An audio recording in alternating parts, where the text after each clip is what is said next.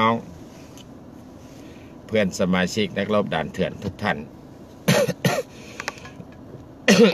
กล้องมัวน่าจำแล้วนะครับ ก็วัสดีไปยังปากจังไกรไทยอ่อน และกับเพื่อนสมาชิกนักรบด่านเถื่อนทุกๆทท่านนะครับว่าอ่าพวกเราในทีมนักรบด่านเถื่อน และปริมณฑล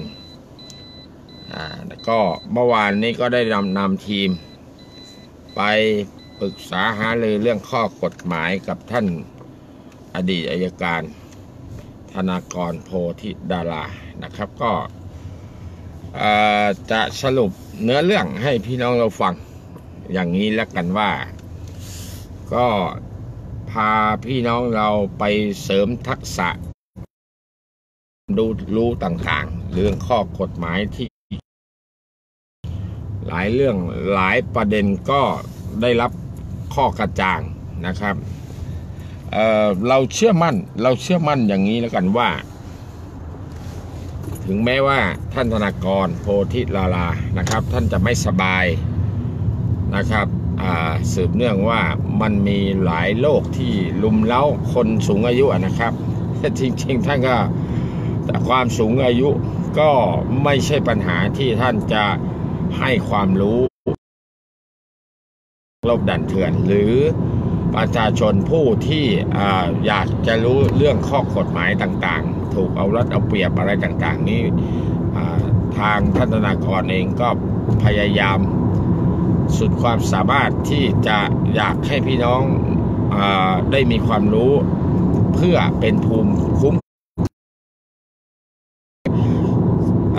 เบื้องต้นนี้ต้องขอขอบคุณท่านมาก เพราะว่าส่วนหนึ่งท่านได้สร้างคุณประโยชน์ให้กับพี่น้องประชาชนมากมายนะครับก็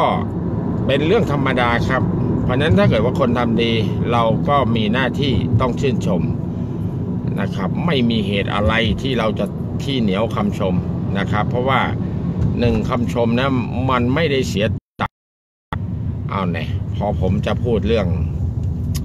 อะไรต่างๆ นี้ก็กลายเป็นว่าเพิ่งออกมาจากเพิ่งออกมาจากปั๊มน้ำมันนะครับเพิ่งออกมาจากปั๊มน้ำมัน ก็มาน่าจะเป็นจุดตรวจไหมอะเดี๋ยวเดี๋ยวเดี๋ยวให้พี่น้องดูข้างหน้าสักนิดหนึ่งนะครับ เพราะว่าวันนี้ผมจะเดินทางไปสถานที่แห่งหนึ่ง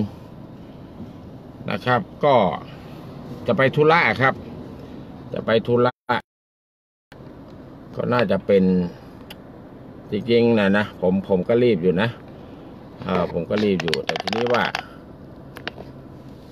อันนี้น่าจะเป็นจุดตรวจความเร็วของของสัพยานะครับ ของสัพยาหรือสันพยาใช่ไหมฮะจังหวัดสิงห์บุรี รือชัยนาทชัยนาทนะครับ น่าจะเป็นชัยนาท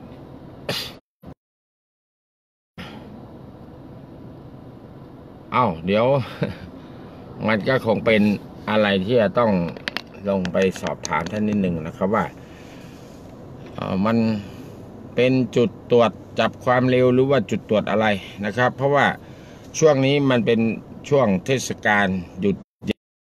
นะครับอ่า จริงๆ เจ้าหน้าที่จราจรก็ตามตามความเห็นของผมนะครับ ว่าท่านน่าจะอำนวยความสะดวกในการสัญจรมากกว่าที่จะมาหยุดรถในช่องทางเดินรถเพื่อที่จะแจ้งข้อกล่าวหา ไม่ว่าจะเป็นพรบจราจรหรืออพรบรถยนต์อะไรก็แล้วแต่นะครับ แต่แต่ถ้าเป็นเจ้าหน้าที่จราจร นะครับ ก็ต้องกล่าวหาเกี่ยวกับพรบจราจรนะครับ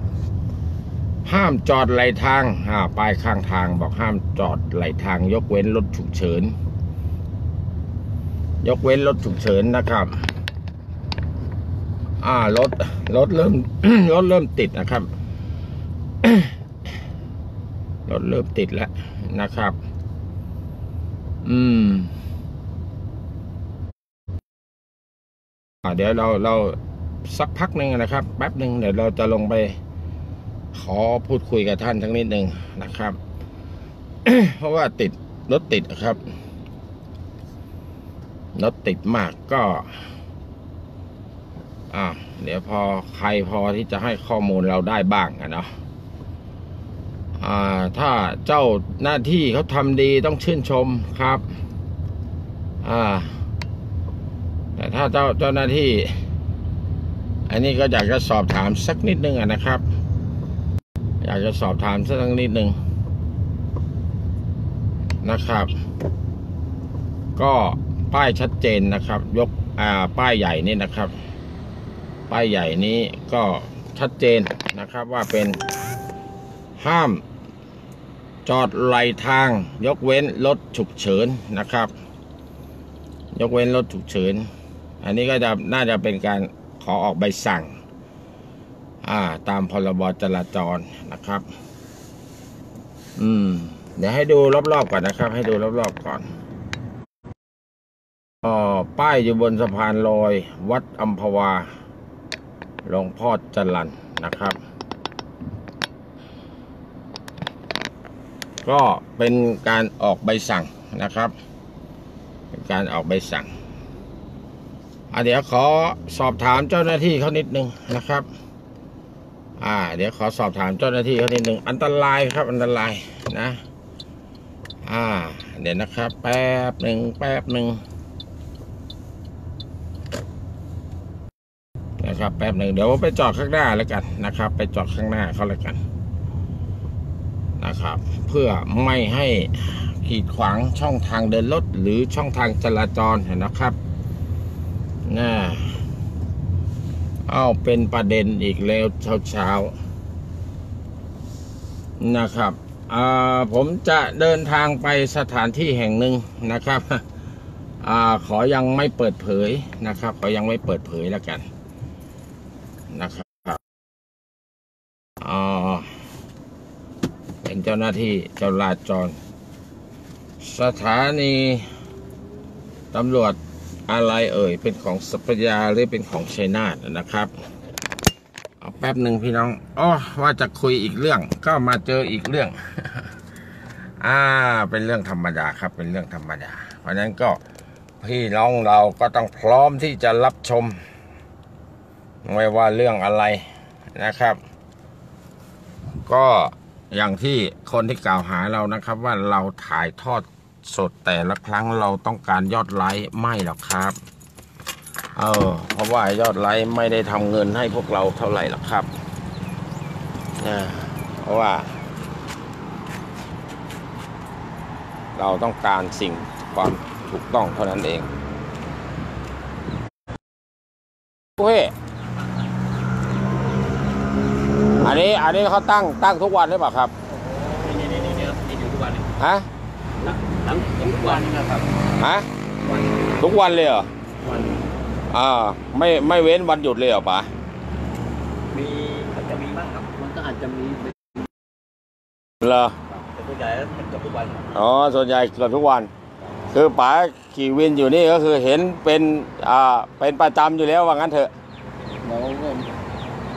เดี๋ยวต้องถามที่คนในคนนั้นอยู่เป็นจำเลย อ๋อแต่คนนั้นจะรู้หมดเลยอะไรอะ อ่าอะไรมันจะรู้รู้เรื่องคือมันมันนี่ผมออกมา มันก็มันก็ตั้งแล้ว มันก็ตั้งอยู่เงี้ยแล้วเช้านี้เขาเข้ามาตั้งกี่โมงอะป๋าเช้าเนาะตั้งแต่เช้าเลยเหรอเช้าโอ้เอ้ยไปเช้าโอ้โหแต่มันมีความอดทนเนาะเราเป็นความอดทนหมายถึงว่ายังไง โอ้โหแดดร้อนไม่เกี่ยว ไม่เกี่ยวเลยอยู่ได้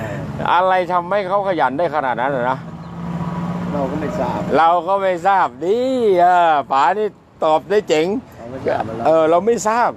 อะไรที่เราไม่ทราบเราอย่าไปตอบไม่ได้เจ๋งเจ๋งมากนะครับ เดี๋ยวไปเยี่ยมชมด่านเขาสักนิดหนึ่งนะครับ ไปเยี่ยมชมด่านเขานิดหนึ่งก็ผมไม่รู้ว่าเป็นเป็นเป็นของสถานีป้าไอ้ตรงนี้เป็นของสถานีอะไร สัพพยาฮะไม่ได้มันเป็นตำรวจนี่มันเป็นตำรวจกองกลางอันนี้อันนี้จราจรกลางกองกลางเอออ่าเขตพรมบุรี เขตเขตอะไรนะอำเภอพรมบุรี พรมบุรีนะโอเคขอบคุณมากครับหมวดทางหลวงพรมบุรีนะเออหมวดทางหลวงพรมบุรีแล้วที่เอ่อตรงนี้หลักกิโลเมตรที่เท่าไหร่ตหลักกิโลเมตรที่เท่าไหร่ไม่เท่าไหร่อ่าเอานี่เลยพี่บินจำไม่ได้ไม่เป็นไรครับไม่เป็นไรตรงเนี้ยหน้าวัดอภวันอ่าครับผมครับผมไม่เป็นไรครับอ่าหน้าวัดหน้าวัดอัมพวันนะครับ เป็นจราจรกลางนะครับ ของอหมวดการทางพรมบุรีนะเป็นของพรมบุรีอ้าเดี๋ยวเราไปสอบถามนะครับ เดี๋ยวพาพี่น้องไปสอบถามเอ่อเรื่องที่ประชาชนมีสิทธิ์สงสัยได้ครับ เราเราไม่ได้ก่อกวนไม่ได้ละเมิดอะไรของเจ้าหน้าที่ครับ ก็ท่านจะทำท่านก็ทำไป นะครับ ท่านจะทำก็ทำไป ก็เป็นการตั้งวางกลวยนะครับ เพื่อบีบตรวจก็จะบีบตรวจจราจรนะครับน่าจะแจ้งข้อกล่าวหาเกี่ยวกับพรบจราจร ก็เป็นการ เป็นการปฏิบัติหน้าที่ของเจ้าหน้าที่นะครับ การตั้งวางกลวยที่ช่องทางเดินรถนะครับ บนทางหลวงนะครับเริ่มบอบอกกันแล้วครับ เริ่มบอบอกกันนะครับ เริ่มบอบอกกันแล้วนะครับเขาชี้ให้ผมไปที่หาหาหัวหน้าผู้ควบคุมจุดตรวจ ก็ให้เห็นก่อนว่าเป็นทางหลวงพรมบุรีหมวดหมวดทางหลวงนะครับพรมบุรีนะครับ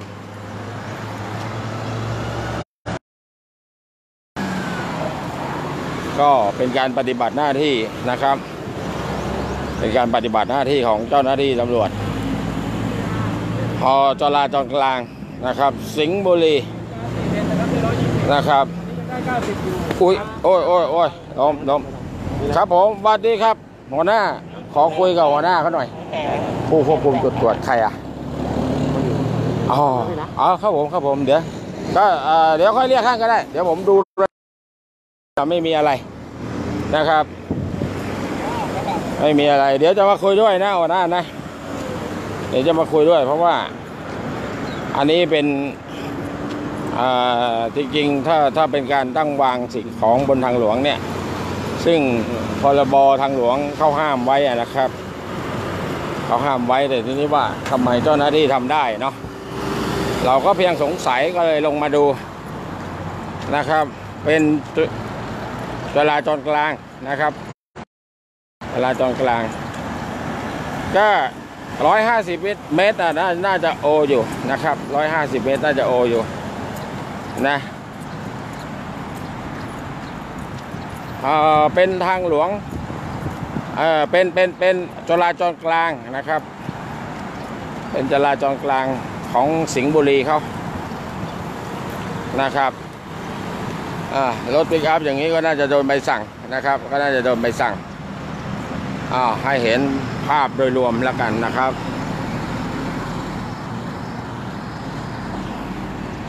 อันนี้เป็นเจ้าหน้าที่นะครับ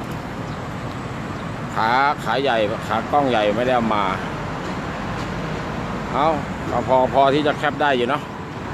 พอที่จะแคปได้อยู่ เออใช้ขากล้องเล็กนี่สั่น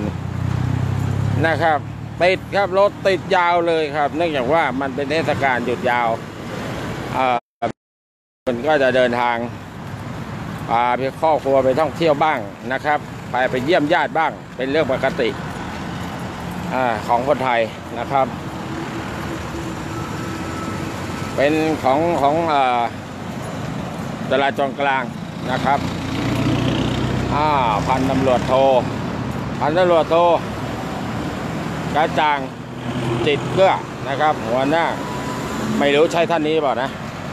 ดูป้ายฝั่งนี้ดิดูป้ายฝั่งนี้นะครับ อ่าดูป้ายฝั่งนี้นะ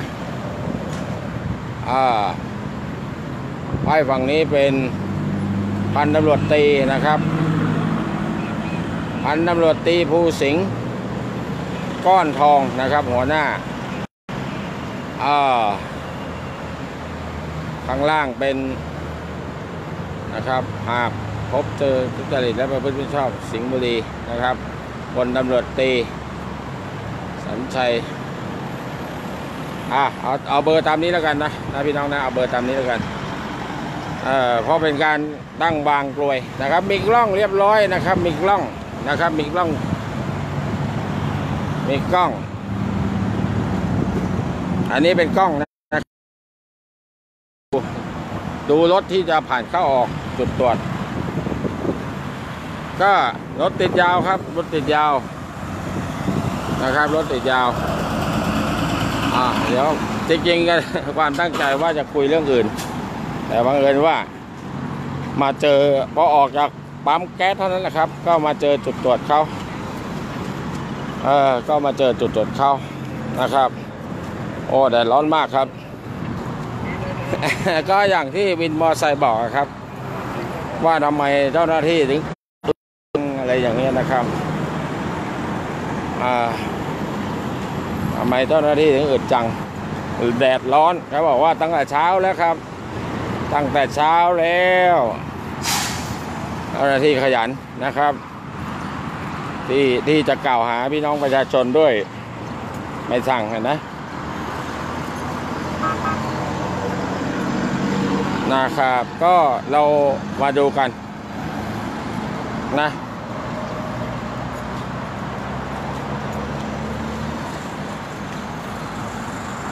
นะครับ เดี๋ยวขอสื่อสารกับผู้ควบคุมจุดตรวจสักนิดหนึ่งะนะครับ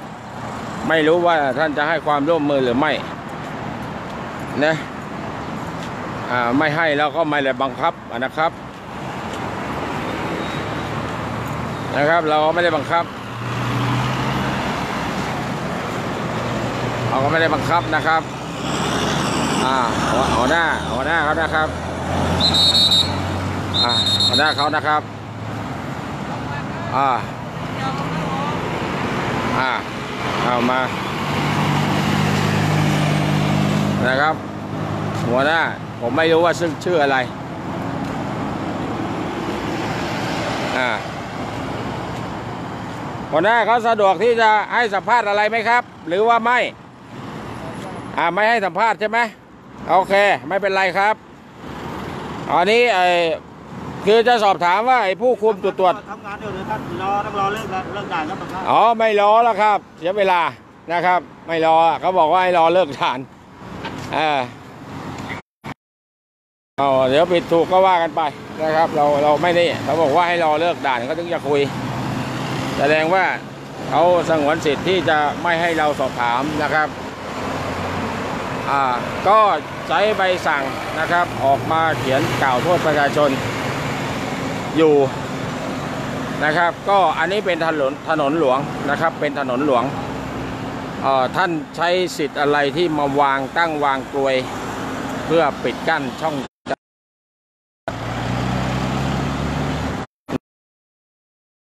เอกสารทางราชการ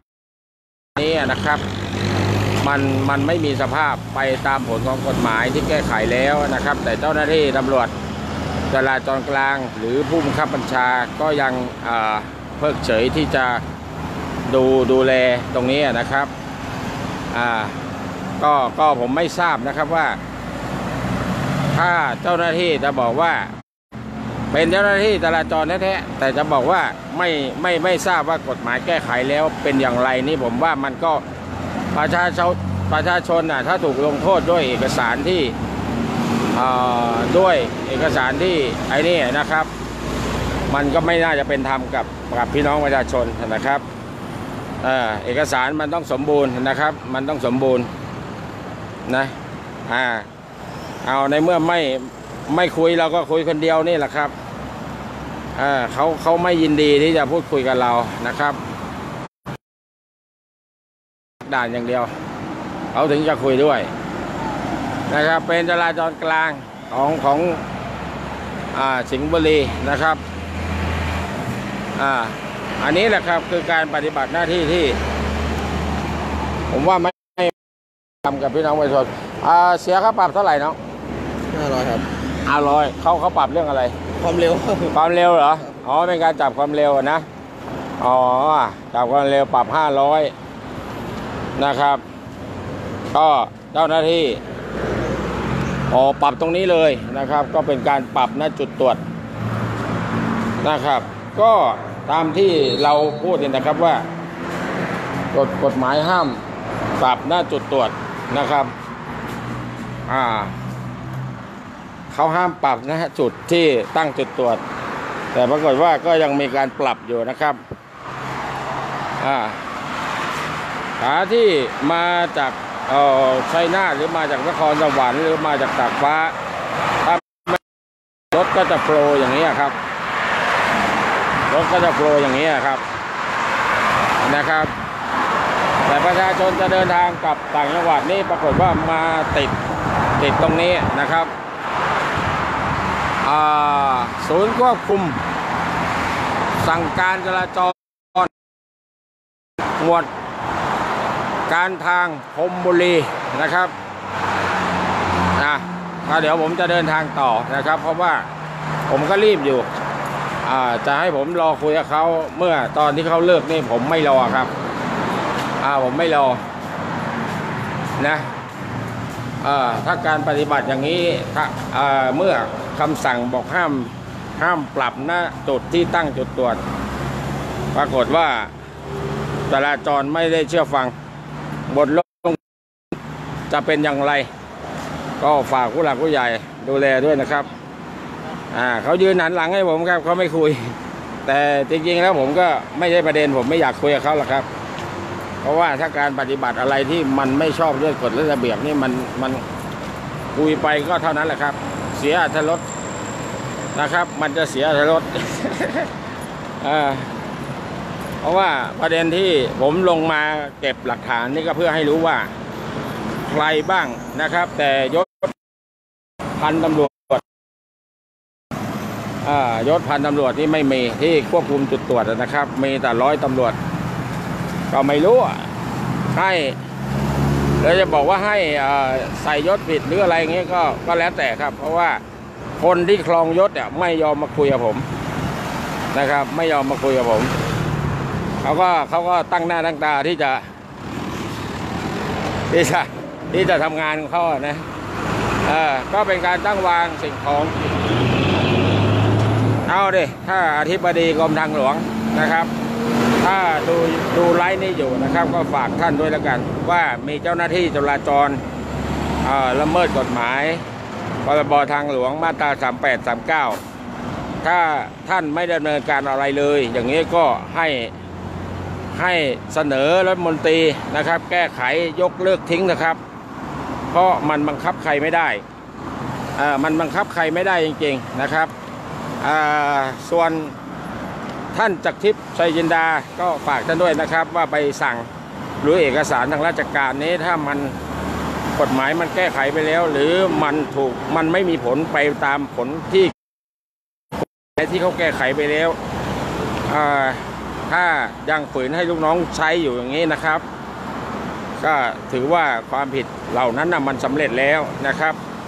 เพราะนั้นท่านจะดำเนินการอย่างไร อันนั้นก็เป็นสิทธิ์ของท่าน หรือท่านจะเพิกเฉยมันก็เป็นสิทธิ์ของท่านนะครับ ก็คงไม่มีใครบังคับท่านได้ครับอ่าคงไม่มีใครบังคับท่านได้นะเออเพราะว่ามีขนาดเจ้าหน้าที่จราจร เป็นผู้บังคับใช้กฎหมายแท้ๆนะครับ ก็ยังมีการละเมิดกฎหมายนะครับ ผมไม่ได้ลุกล้ำเข้าไปในตัวอาคาร ซึ่งเป็นอาคารเมื่อก่อนนี้จะเป็นอของของของอตำรวจทางหลวงนะครับแต่ตอนนี้ท่านใช้เป็นอาคารที่จะปรับทันทีนะครับ ที่จุดตรวจผมไม่เข้าใจนะครับ ไม่เข้าใจว่าระบบสั่งการหรือ กฎหรือระเบียบต่างๆ เนี่ยนะครับ มันสามารถควบคุมได้ไหมครับ เออ มันถ้ามันคุมคนที่ถือกฎหมายในมือเนี่ย ถ้ามันคุมคนกลุ่มนี้ไม่ได้ ก็อย่าเอากฎหมายมาบังคับใช้กับประชาชนเลยครับเอ่อถ้าท่านอยากจะตั้งวางโดยอิสระท่านเสนอรัฐมนตรีเลยครับ ให้ยกเลิกกฎหมาย มาตรา 38 และ 39 ของพรบทางหลวงนะครับ เอ่อมันเจ้าหน้าที่จราจร ถึงไม่เกรงกลัวข้อข้อห้ามเหล่านี้นะครับ แต่ไอเนี่ยท่านถือใบสั่งมานี่ก็ใบเป็นใบสั่งที่เป็นเอกสารที่กฎหมายแก้ไขจนไม่หลงเหลือให้ท่านเอาออกมาใช้ได้แล้วนะแต่ปรากฏว่าก็ถือกันคนละเล่มละเล่ม นะ เป็นการที่เอาเรียกให้รถหยุดในช่องทางเดินรถอ่าจริงๆอะบทบัญญัติหรือข้อห้ามไว้เนี่ย คือต้องให้เห็นความผิดก่อนถึงจะเรียกนะครับ กฎหมายเขาเขียนไว้อย่างนั้น ข้อห้ามมันมีห้ามไว้ตั้งเยอะแยะ เพื่อไม่ให้เจ้าหน้าที่ตำรวจจราจรเนี่ยมาละเมิดประชาชน อ่า ผมผมไม่ทราบว่าเจ้าหน้าที่จราจรที่ปอกแขนสีขาวนะครับ ท่านเข้าใจสาระสำคัญอะไรในตัวกฎหมายผิดหรือไม่นะครับคำว่าจราจร คือการบริการยังไงให้จราจรมาโอมันไปได้โดยสะดวกนะครับ มันไม่ใช่ว่าเอากลวยมาตั้ง แล้วก็ให้รถทุกคันต้องชะลอ เพื่อให้ท่าน ถ้าอ่าเลือกเอาว่า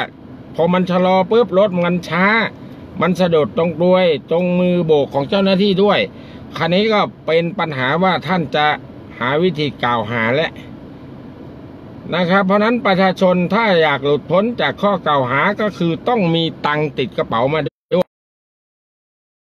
อ่าจ่ายตังค์แล้วข้อกล่าวหาพวกนั้นก็คือถือว่าหมดไปนะครับ เพราะมันเป็นคดีระหูโทษ ท่านจะว่ากล่าวตักเตือนก็ได้นะครับ ท่านจะออกใบสั่งด้วย จะออกคำสั่งด้วยใบสั่งก็ได้ครับอ่าแต่ทีนี้ไอ้เท่าที่ผมมองดูที่คันไหนที่ถูกเรียกเนี่ย ไม่มีว่าเก่าตักเตือนครับอ่าเป็นการที่เอ่อออกใบสั่งแล้วให้ไปจ่ายเลยอย่างเงี้ยมันคือ ข้อห้ามที่ห้ามว่า ห้ามปรับณจุดตั้งจุดตรวจอย่างเงี้ย ไอ้ข้อห้ามเหล่านี้ มันห้ามมันห้ามใครครับ เขาห้ามเจ้าหน้าที่นะครับ ไม่ให้ดำเนินการปรับตรงจุดตรวจ มันสุ่มเสี่ยงกับการที่เออท่านจะถูกร้องเรียนก็ครับ อาจจะไปใช้ดุลพินิษ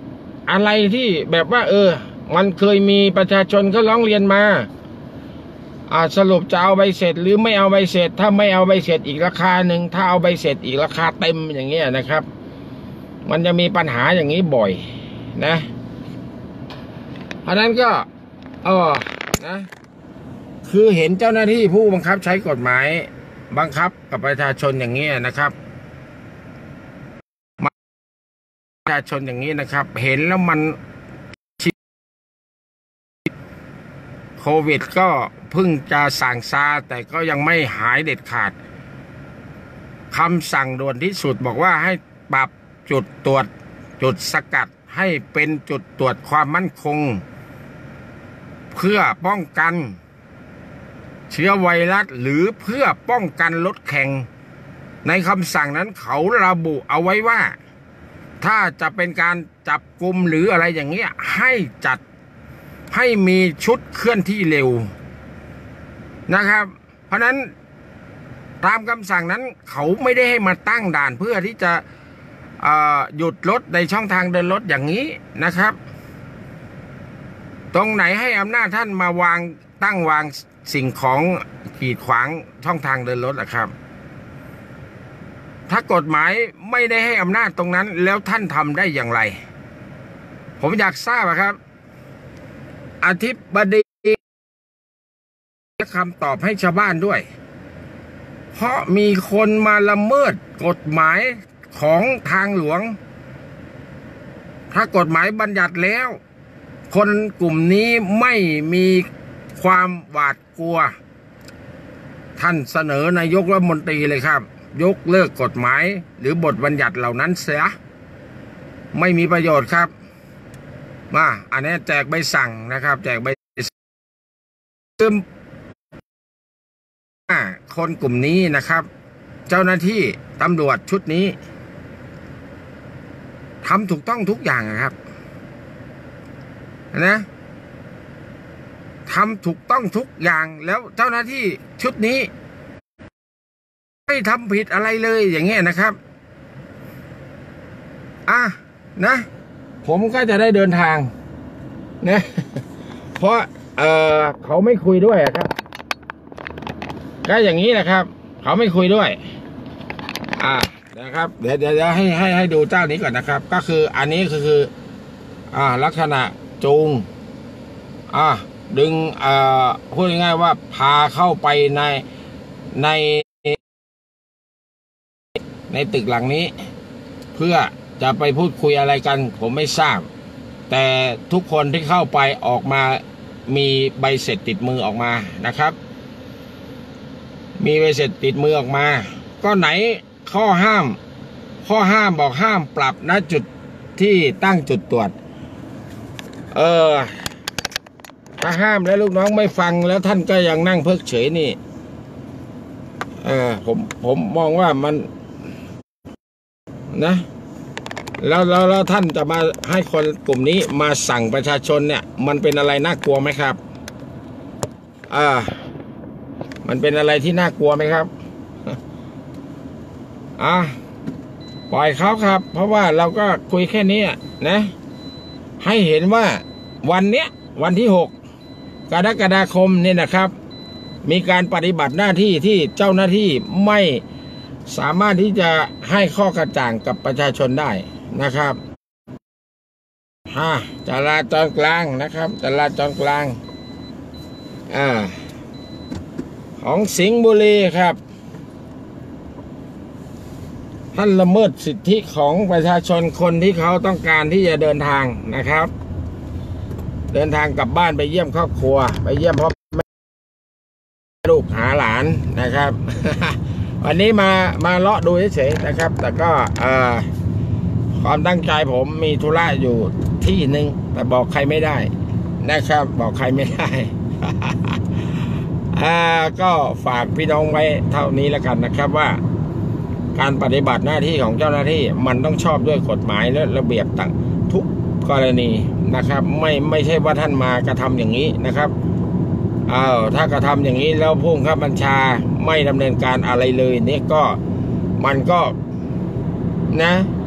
ชาวบ้านในเครือบแคลงสงสัยมากนะครับ กรณีที่ไปเขียนระเบียบหรือวินัยที่จะบังคับเจ้าหน้าที่เนี่ยถ้าเป็นการผิดระเบียบผิดระเบียบในการตั้งจุดตรวจหรืออะไรก็ว่ากันไป แต่มันเกี่ยวโยงกับกฎหมายหลายมาตรานะครับ อธิบดีกรมทางหลวงเมื่อมีประชาคือเมื่อมีข้าราชการกลุ่มหนึ่งละเมิดข้อกฎหมาย แล้วท่านเพิกเฉยอย่างเงี้ยเออจริง ๆ ผมก็พวกผมเองนะครับ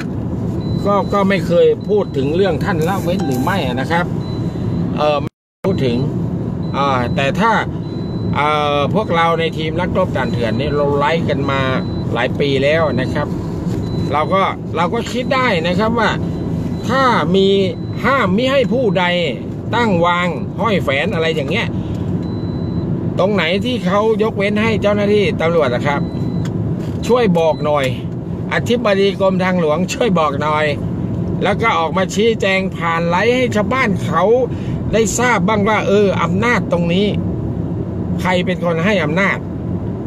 และการตั้งวันนี้นะครับนะก็อย่างพี่วินมอร์ไซเขาก็ให้ข้อมูลว่าเออเนี่ย เอาตั้งแต่เช้าอะเห็นไหมเอาตั้งแต่เช้าอะ ถ้าเอาใบสั่งที่ไม่มีสภาพที่จะเรียกเงินได้แล้วเหรอเป็นกระดาษแผ่นหนึ่งอย่างเงี้ย แล้วมาเรียกจับความเร็วห้าร้อยนะครับกรณีอื่นเอาบางทีอาจจะไม่เอาใบเสร็จอาจจะนะครับ ราคาก็อาจจะแตกต่างไปอีก อันเนี้ยก็เป็นข้อสงสัยที่ประชาชนเขามีสิทธิ์ที่จะสงสัยได้ เงินสี่ห้าร้อยให้เขาไปซื้อขนมให้ลูกดีไหม เพราะมันมันวันหยุดยาวอย่างเงี้ย เขาตั้งใจที่จะมาเช่นถนนสายเอเชียนี่ก็เพื่อที่จะไปหาครอบครัว นะครับ ท่านยังเอาเอกสารที่กฎหมายมันมันยกเลิกไปแล้วนะ่ะ แล้วมาเรียกเอาเงินอยู่อย่างเงี้ย แล้วจะให้เราเข้าใจว่ายังไงอะ ประชาชนเขาจะให้เขาเข้าใจว่ายังไงอะครับ เหมือนกับว่า เออ ถ้าคนรู้กฎหมายพรบแก้ไขเพิ่มเติมฉบับที่สองถ้าใครรู้กูก็ไม่ปรับ อย่างนี้มันคือมันใช้ไม่ได้ครับ ผมเองก็ขี้เกียจจะพูดขี้เกียจจะระบายกับเจ้าหน้าที่นะครับว่าไอเราจะไปเดินบอกเจ้าหน้าที่ทุกจุดตรวจที่มันผมว่ามันก็ไม่ใช่เรื่องนะครับ แต่วันนี้ร้อยตำรวจเอก หลายคนนะครับแล้วก็มีร้อยตำรวจตีด้วย ร้อยตำรวจโทด้วยนะครับ เอาชื่อตามป้ายแล้วกันนะครับ เดี๋ยวเราเราก็ว่ากันตามป้ายแต่ที่ตามป้ายนี่ยไม่มาครับ ระดับพันตำรวจนี่ไม่มานะครับ ก็ฝากพี่น้องด้วยนะครับว่า ในกรณีอย่างนี้นะครับ คืออคุณละเมิดกฎหมายเสียเองอย่างนี้ มันก็เป็นเหตุที่ประชาชนอาจบางคนอาจจะไม่เชื่อฟังท่านได้นะครับ เพราะท่านไม่ได้ปฏิบัติที่มันเป็นไปตามบทบัญญัติของกฎหมาย ไม่ได้เป็นไปตามระเบียบที่สตชวางไว้คำสั่งอะไรท่านก็ไม่ได้สนใจนะครับอ่าท่านจะเอาที่ที่ท่านสะดวกว่างั้นเถอะที่ท่านกล่าวหาได้ เป็นผมผมก็กล่าวหาได้ครับ ให้ผมเดินกล่าวหา ได้ แต่เมื่อว่าท่านไม่ไม่แยแสกับกฎกับระเบียบอะไรเลย ใส่ชุดข้าราชการมา โบกใครก็จอดครับ โบกใครก็มันจำเป็นน่ะถ้าถ้าไม่จอดปุ๊บก็อาจจะโดนข้อหาพาอ่าพาดานอะไรอย่างนี้นะครับ ถ้าไปถกเถียงอะไรมากก็อาจจะโดนข้อกล่าวหาดูหมิ่นเจ้าพนักงาน คืออาบทบัญญัติต่างๆที่ไปใส่ไว้เนี่ย จะลงโทษคนอื่น เท่านั้น อย่าลืมนะครับว่า เจ้าหน้าที่ตำรวจก็โคนสองมือสองเท้าเท่ากันนะครับ แต่กฎหมายไปเขียนให้อำนาจ คนกลุ่มนี้ใช้ดุลพินิษได้อย่างเงี้ย ให้ประชาชนลองใช้ดุลพินิษได้บ้างไหมล่ะ นะ ฝากไว้ อ่า อ่า จริงๆน่ะ มันไม่ใช่ประเด็นหรอก เขาแต่ผมอยากให้พี่น้องเราเห็นว่าไอการละเมิดกฎหมายเนี่ยทำไมประชาชนเขาไม่กล้าที่จะละเมิดกฎหมายหรอกเออบางทีบางครั้งอย่างอ่าไอ้นี่ด้วยความจำเป็นเขาเขาไม่มีตังค์อะ ไม่มีเงินอะชั่วโมงนี้มันไม่มีเงินนะครับ เขาไม่มีเงินที่จะใช้จะจ่าย แต่ท่านมามาอย่างนี้แล้วเสร็จแล้ว ได้เงินน่ะ แต่ผมก็อยากทราบเหมือนกันนะว่าถ้าเป็นเงินค่าปรับตรงนี้ ส่งใครอะ ส่งให้ใครอะ อะไรอย่างเงี้ย ตามตามระเบียบตามกฎหมายที่ส่วนแบ่งค่าปรับนี่เขาต้องให้ส่ง องค์การบริหารส่วนท้องถิ่นนะครับ เดี๋ยวแถวสิงห์บุรีจะถูกตรวจสอบเรื่องการนำส่งเงินลงส่วนแบ่งค่าปรับต่อไปนะครับว่า โอ้ถ้ายืนถ้าจะท่านยืนอย่างนี้นะครับ มามาดักถนนสายเอเชียเนี่ยซึ่งรถมีปริมาณมาก จะเอาวันละกี่ล้านนะครับ นะตีถ้าว่าคันละห้าร้อยร้อยคันเป็นเงินเท่าไหร่พันคันเป็นเงินเท่าไหร่ เพราะท่านาหยุดรถได้ทั้งสามช่องจราจรอย่างเงี้ยมัน เออผมไม่เข้าใจนะว่า จิตใจของพวกท่านทำด้วยอะไรนะ โอเคนะเออถึงที่หมายเดี๋ยวผมจะแจ้งอีกทีว่าผมอยู่ตรงไหนนะครับ แต่ตอนนี้ออยู่ที่ในเขตของชัยนาทแถวสิงห์บุรีอะไรอย่างนี้นะครับ ก็มีนัดหมายสำคัญอยู่นะครับ พียงแต่ยังบอกล่วงหน้าไม่ได้ คิดถึงทุกท่านรักทุกคนขอบคุณและสวัสดีครับ